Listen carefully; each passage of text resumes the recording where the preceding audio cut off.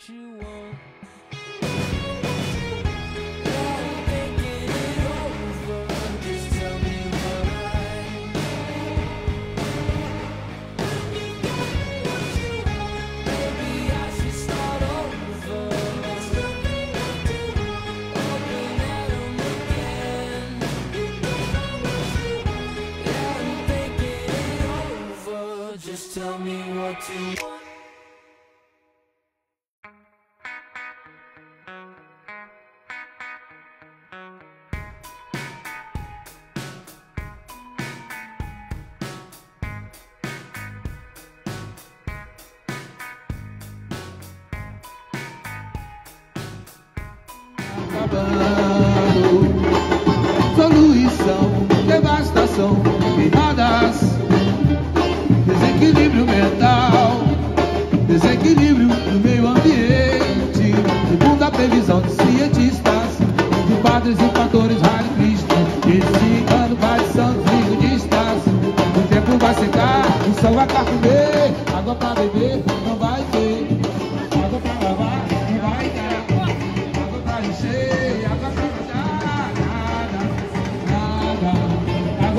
ter, não vai ter. Água para lavar.